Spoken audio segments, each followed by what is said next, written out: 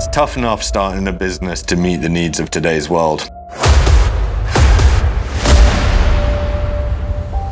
But it's a completely different mindset when a founder expects the world to change around them. Hi, I'm Phil. I'm Aman. Steve. I'm Cindy. And my company, Remedy Health. Scoot. Agoli Media is changing the world. When you're as obsessed as I am about it, it does consume you. You've got to prioritize and you've got to compartmentalize. It did absorb a lot of my life. It was all negative feedback. I came the next day to the office just crying. So why are you doing this? The objective is to change the world. We could be the biggest company of the 21st century.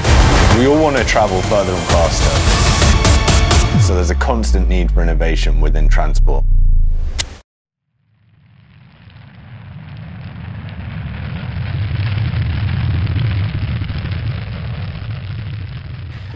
Satellites, they've essentially defined the modern age.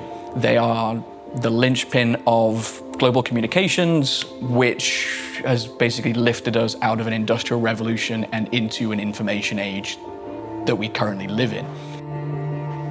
Satellites have the potential to also be extremely responsive, extremely maneuverable.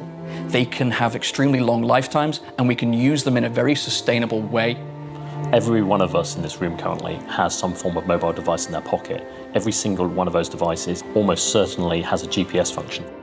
If you want to call a colleague in the United States or in Finland or in South Africa or in China, that satellites will perform part of that link in the same way the navigation allows you to go from A to B.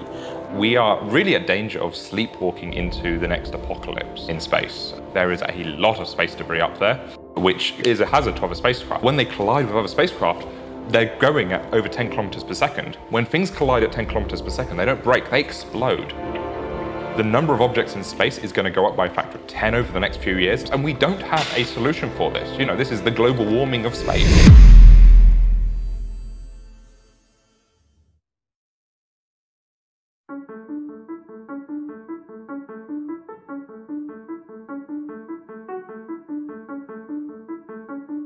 I'm Mark Stokes. I'm the CEO of MagDrive. I'm Thomas Clayson, founder and CTO of MagDrive. When did you guys get into space? And I'm not talking professionally. Yeah, as a kid. Three keeping, months old or so. Yeah. keeping track of, you know, exciting things that were happening that I felt really interested in because I had to go and find them. It's just always been part of my childhood. I remember books about black holes when I was probably way too young for them. I remember watching Star Trek with my dad when, again, I was too young for it. My first meaningful exposure to space was when I realized that sci-fi I was reading or sci-fi I was watching had a grounding in reality. I wasn't watching something which was impossible. How does that feel to now be not just working in the industry, but what you're working on would completely pioneer a new part of it? It is absolutely, it's just awesome. yeah, it's the best job I've ever had and ever will have it's unbelievable. And like the, the speed is the thing that always gets me. Like literally one year ago, it was us two working part time. Like we were moonlighting, we had other jobs. And now we're a team of nine. It's amazing. Yeah. Chong was mentioning just before we started just how many people in the world can do your jobs. What, what sort of numbers are we talking? Well, he'll be modest, but it is about 50 for him. Maybe. is that about right? About I, I mean, um, so I mean, we're talking like um, you know, uh, pulse power and plasma physics combination with like you know, good knowledge of magnetic. Me, probably, probably enough, probably enough people, but a combination of mechanical engineering, maths, project management, working in startups, robotics, aerospace. Maybe my secret is, you know, I haven't had a career trajectory at all, um, and now I'm here.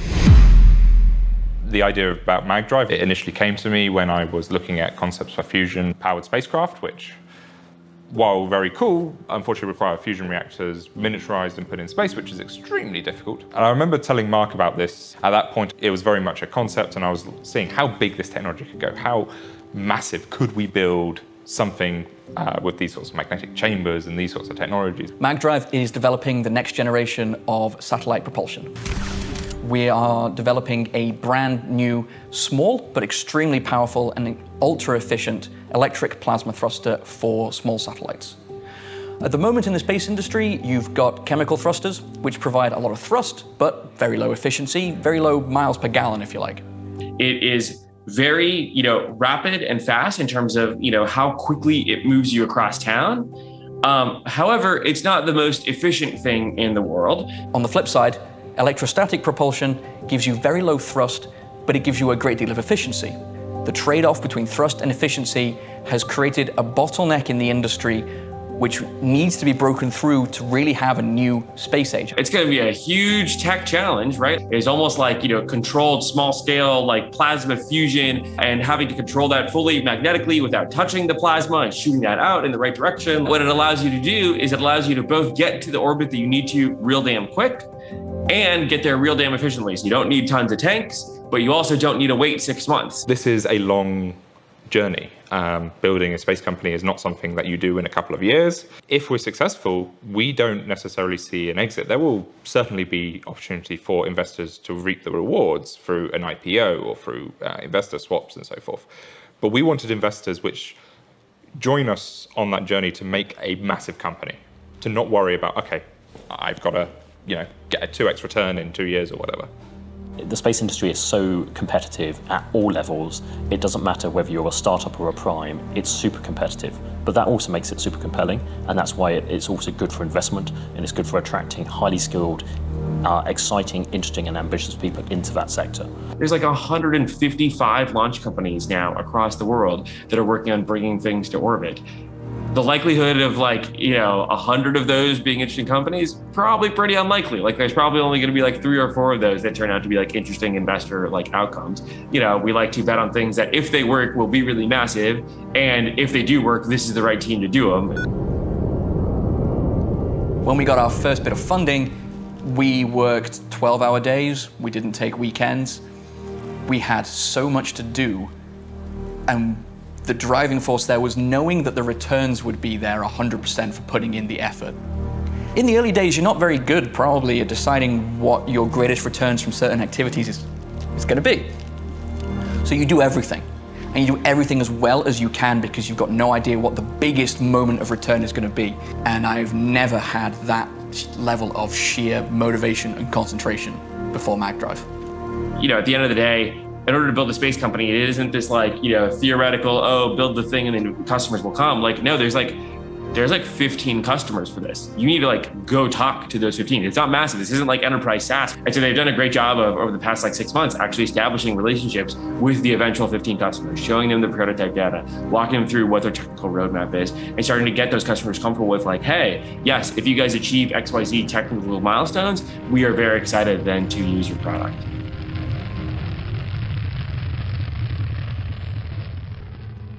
MagDrive is pretty darn consuming. um, you know, you have to be obsessed to be a startup founder. Um, I think if you aren't, it will be hard to be successful. But at the same time, I do have other things in my life. I have a child, um, I have a wife. Um, now, unfortunately, lockdown means we can't go anywhere, so I've been able to dedicate a lot more of my time to MagDrive, um, which my wife is not very happy about. I'm not one to care too much about what my personal identity is and what others think of me. Um, but I think that, you know, my, my name and personality are very much intertwined with MagDrive. There are people in my life who I want to impress, who I, I want them to see that I've done something great, which in a way is a little childlike. It's like taking your parents, uh, like, a, like a drawing as a kid. But the kind of validation from important people in your life grounds me very much to the reality of what I'm doing, which I remind myself isn't just for me. And I spent three years learning about people who lived 2,000 years ago, and what they did still affects us now. From language and law and culture, everything can be traced back to snap decisions made 2,000 years ago. And I felt like I had to do something. MagDrive is going to be absolutely crucial in enabling an entire new economy in space. Now I want this new economy in space to grow fast and I want it to grow to the size where you need humans there. In about 20, 30 years time, maybe 40 years time, there are going to be maybe five or six companies which pretty much run the solar system. MagDrive, with a propulsion system that can do things that nobody else can, will be the catalyst for that absolutely radical transformation with the way that humanity itself uses and interacts with space. We could be the biggest company of the 21st century.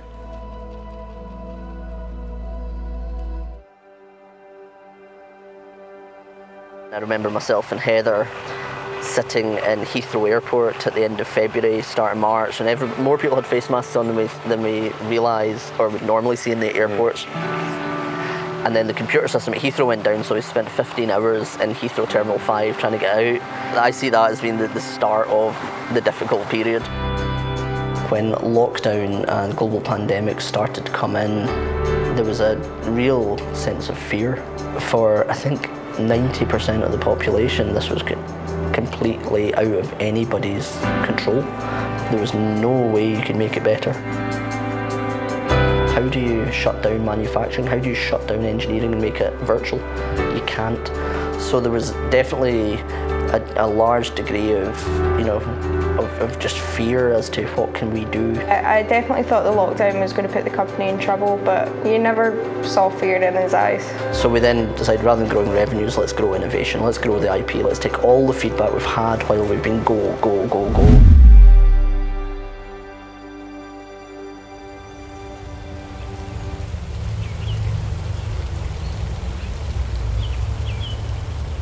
I'm Dr. Dave Hughes, founder and CEO of Novosound.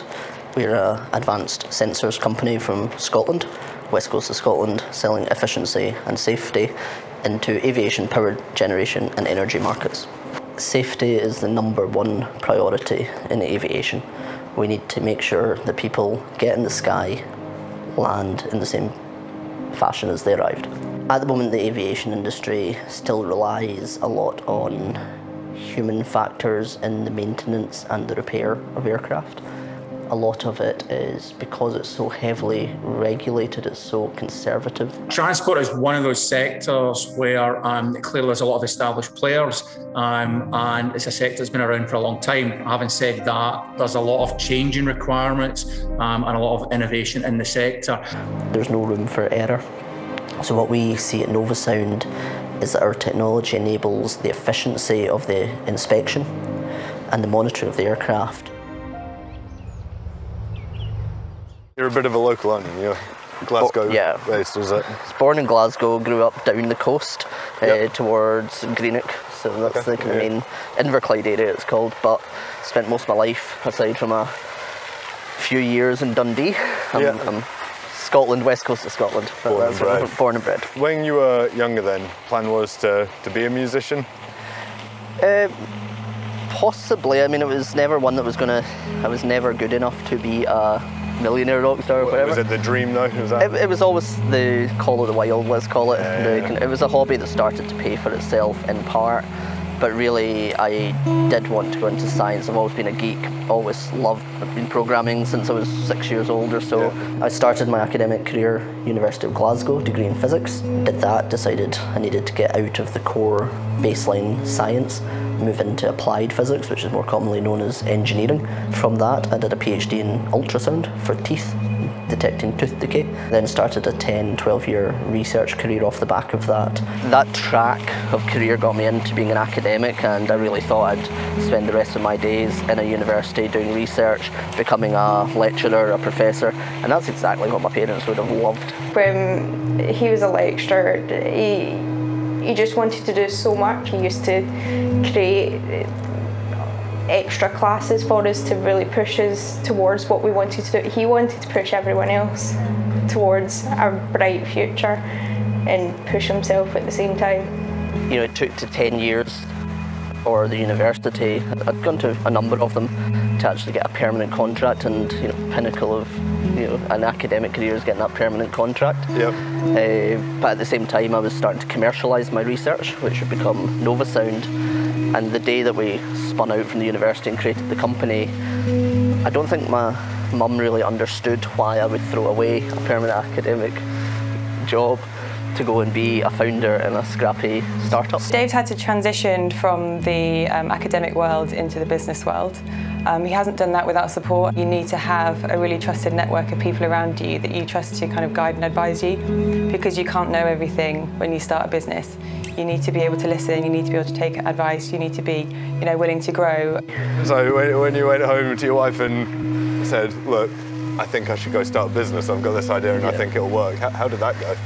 I think it's always, I mean, the phrase I hear a lot is, we'll see how it goes. Both my wife and I uh, appreciate that if I do this right, and and she does her career, she's a politician, she does her career right, the payoff in the long term will be immeasurable compared to what we have to go through in the here and now. So we've been together about 12 years and we met in Glasgow in like a really dingy rock club and the old-fashioned way. No, no apps, no. It, it, kind of moved quickly into internet. I yeah. guess we met face to face and then went digital.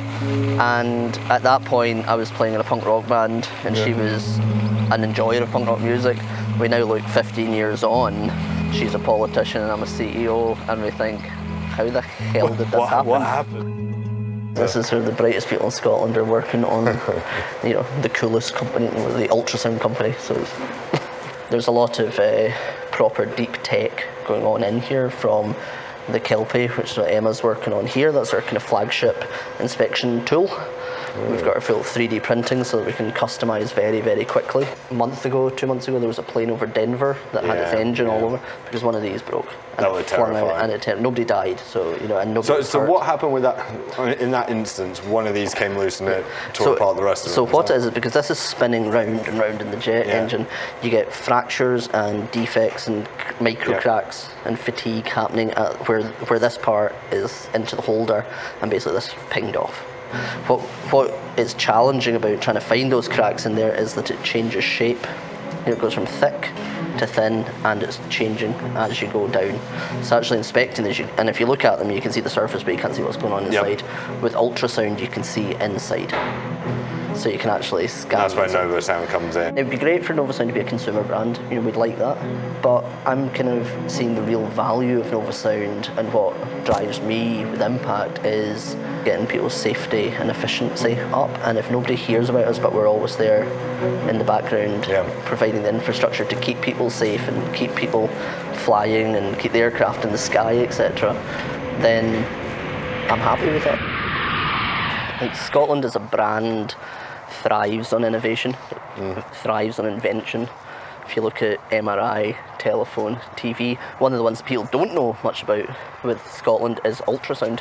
So, diagnostic ultrasound, what we see in the hospitals around the world, was actually first developed in Scotland. I was really surprised to see just how active innovation scene is here in the, the, the central belt, Scotland. And I, I, I do actually think the mix that we've got across all the supply chain and the manufacturing side, the tech side, you know, is something that you know can create more value for uh, like like for Scotland in, in general. Most of all of our products are all manufactured in Scotland. It's creating a community in Scotland. We've always been very um, outsourced, kind of what people think of us, and we want to just show that Scotland can manufacture some pretty good technology. I would love this to go public. That, that's my big aspiration. What we're doing in the markets we operate in, aviation, energy, is game changing. You know, there, yeah. there's no doubt what we are building here has huge implications across sectors. Yes, there are challenges, um, but I think, as I say, because that technology is moving moving on at pace, and I think it's part of the uh, the advantage in the, in the service, that broader service, if you like, in terms of pulling the ecosystem together um, across the sector that the government can, uh, can provide. You have to have the resilience to drive to get there. As soon as the drive goes, then you either have to find it again or hang up your dancing shoes, but I'm not quite there yet. You've got to be all in, you've got to be tenacious, and uh, you've got to really have some passion for what it is that, that you're working on. And Technologies like Novosound are, are seeking to deploy into the market are absolutely, absolutely critical. There, there's a rush when it goes right. There's a, also a secondary rush when it goes wrong and then you fix it.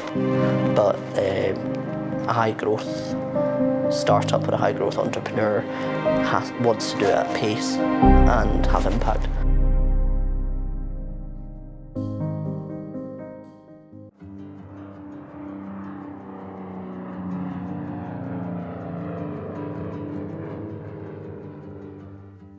Ever since I've been a child, I've always visited factories.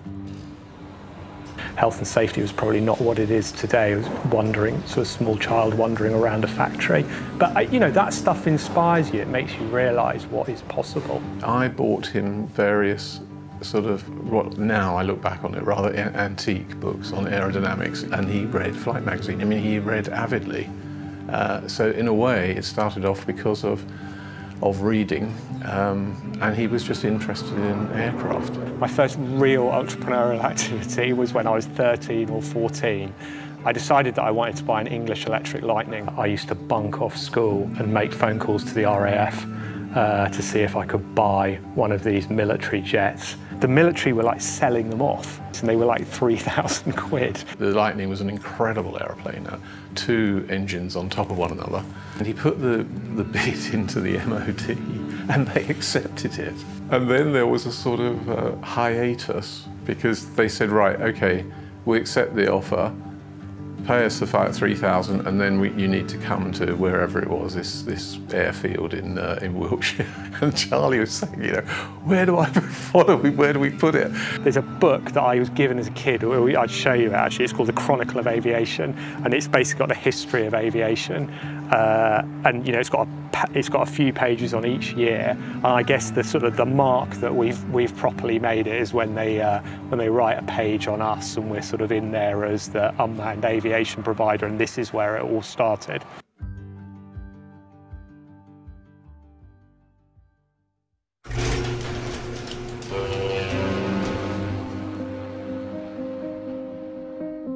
My name is Charles Tabner. I'm the chairman of FlyLogix. We use unmanned uh, aircraft to reduce the cost, the risk and the environmental impact of aviation services.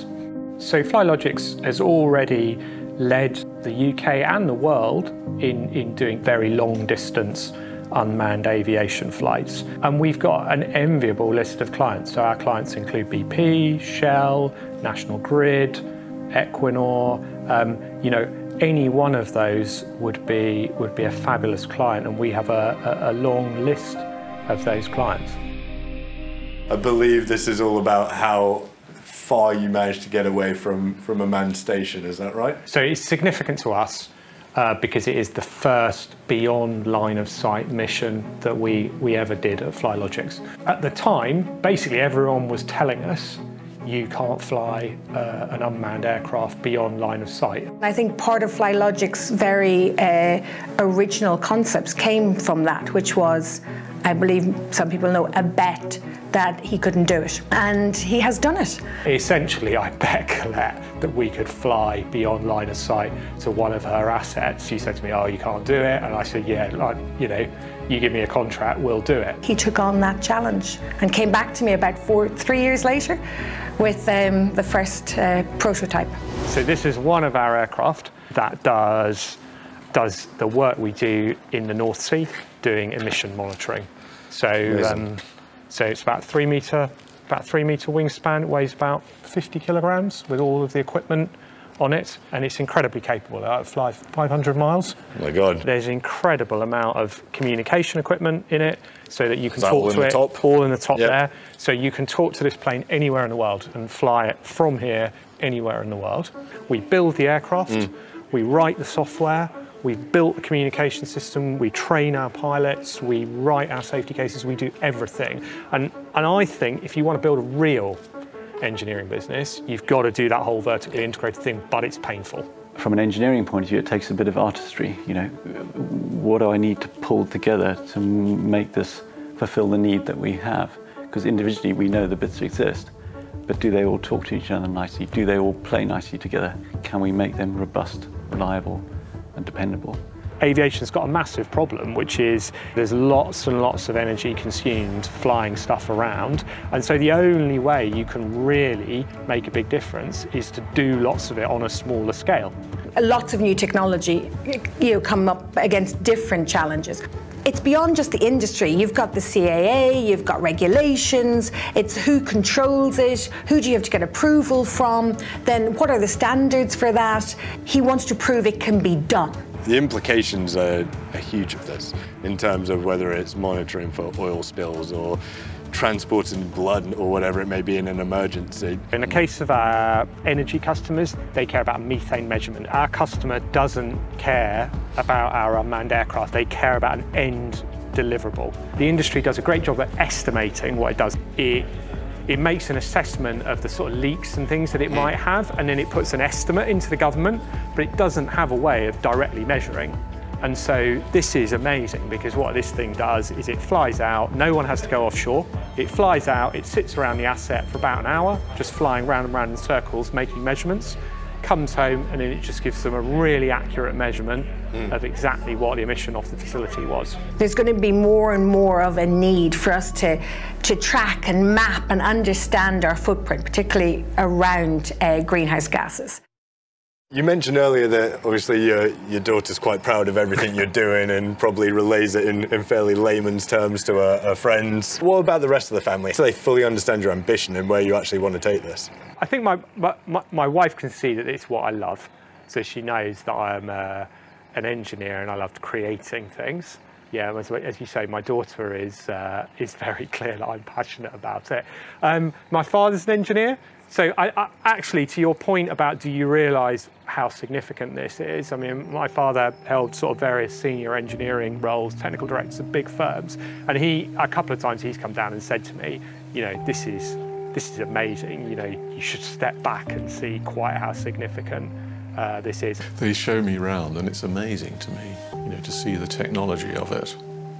You know, and there's an aircraft, the bit that he, he sort of loves, but there's the electronics and testing. I mean, he's got a technical director now that tests everything, you know. Wow. Life of founder, yeah, is, is it difficult? Yeah, it's quite, there's quite a lot of uncertainty. So stuff is, is always changing around you. There aren't neat tram lines, and so you have to be prepared for surprises. The nature of, of providing aviation services, I always joke, it's sort of, uh, it's only one step lower pressure than space launch in that, you know, there's nowhere to hide. So when we run a mission, uh, it's very visible, the success or failure of that mission.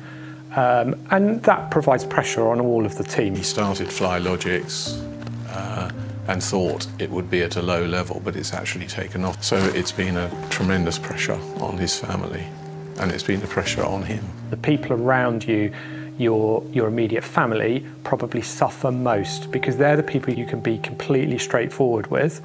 And so there is a danger that they just bear the brunt of a bad day where maybe it's a, it's a skill, isn't it? Is to sort of step back and say, okay, you know, it's not been a great day today, um, but it'll be a good day tomorrow. It perhaps made me a little bit more patient about, you know, takes time to build a better world.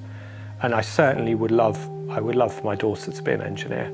I'll try and brain, brainwash her into it as much as I can. I've kind of always known that I'm an engineer, so ever since my first sort of technical Lego set when I was probably six. I've worked for engineering companies since I left university, and I guess it sort of dawned on me in the first five or six years that if you really wanted to change the world, you were going to need to do it in your own business, driving your own agenda rather than a cog in the machine. There's a funny story about Charlie that at school they had tests to uh, determine what your sort of future career should be. And he said, look, I'm not, I'm not, we're not paying for the test. I don't need a test. I just want to be an engineer. My vision for FlyLogix is we will be the Boeing or the Airbus of, of unmanned uh, aircraft. And, you know, I think I looked it up the other day, Boeing employs 144,000 people. Um, and so we have a, a, massive challenge to build that business, but we are on that path and I'm really excited about it. I think that this kind of technology, because it's applicable beyond oil and gas, it's really the limit of their imagination. It is important to me that we build something of significance, that we make, you know, we leave the world a better place than, than we found it. And, and that's what I feel we're, we're able to do here at FlyLogix.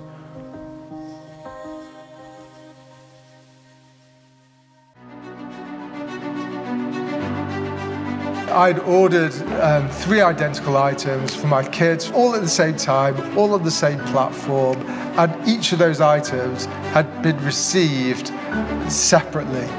They'd been delivered on three separate vehicles, and we ended up sending them back. So there were literally five journeys for, for that single order. Rupert, my co-founder, and I, we got chatting. I'd had a bad experience, and we thought we could come up with a better idea. We knew that personally we were buying more stuff online. Our families were buying more stuff online. All the people we knew were buying more stuff. So there had to be a better way to do it. Transport is central to how our economies are structured. We need to move things. People are thinking more consciously about um, what they buy, you know, where it's sourced from.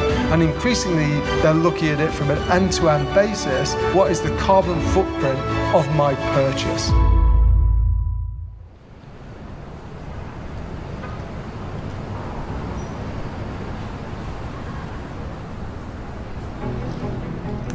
Hi, I'm Phil Davis. I'm co-founder and commercial director of Magway.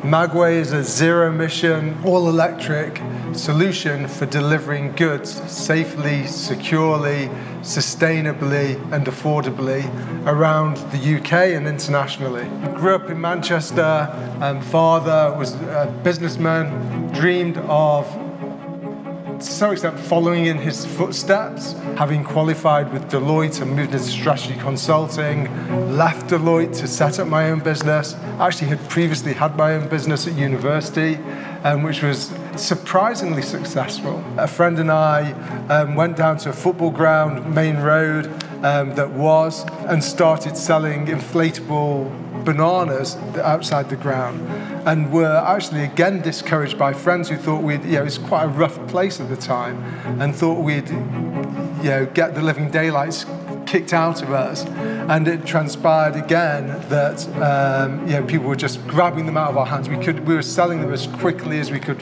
as we could get them. And we ended up manufacturing and wholesaling. You know, that was a really exciting intro to business.